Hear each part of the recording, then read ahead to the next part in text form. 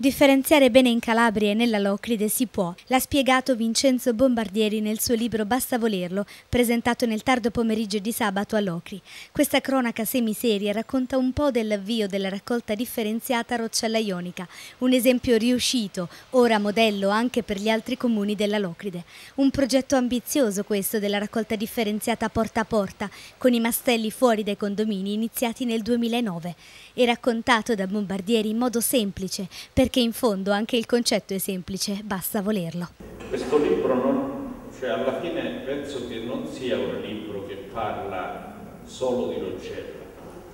è ovviamente un libro che parte dall'esperienza di Roccella,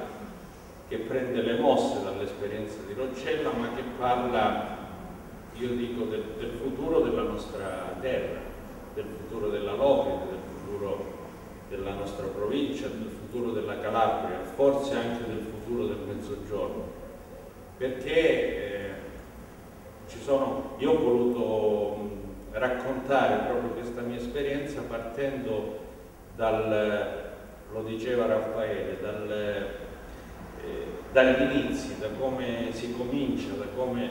per la mia esperienza, per la mia eh, appunto per la mia esperienza ho cominciato, ho mosso i primi passi nella passione civile e politica. Eh, tra virgolette la, la lezione che, o l'esperienza che questo libro vuole dare, la prima, il primo segnale di questa esperienza che il libro vuole dare è questo, e lo diceva benissimo il vice sindaco. La politica, per quello che posso dire io, eh, la politica non è eh, arricchimento personale, non è eh, ambizione di carriera, ma è probabilmente al contrario, è sacrificio, è passione, è servizio. Eh, Alfredo diceva, la, uno dei vocaboli che si leggono di più in questo libro è proprio servire, servizio, in inglese civil servant, che significa servitori dello Stato. La politica non è nemmeno eh, solitudine, eh, azione solitaria di una punta di diamante che si pone davanti agli altri.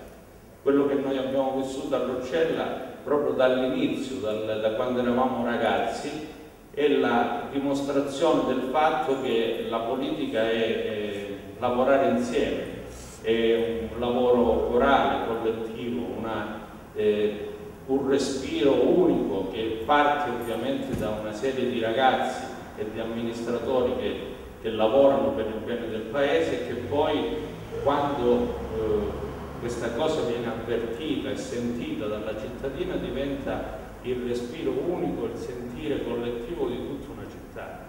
E quello che noi abbiamo avvertito proprio nella per questo penso forse libro, eh, nel libro si sente questa passionalità, questa passione particolare, perché noi veramente l'abbiamo sentita, cioè abbiamo vissuto questa esperienza, eh, ovviamente tutta l'esperienza dei 15 anni di amministrazione con, con Sisino Zito Sindaco e poi con Peppe Centomai, eccetera, ma in particolare il suggello, la consacrazione, è stato proprio quello del, del, dell'avvio della raccolta differenziata, perché abbiamo, siccome io dico sempre, quando facevamo i famosi incontri con i cittadini e i ragazzi,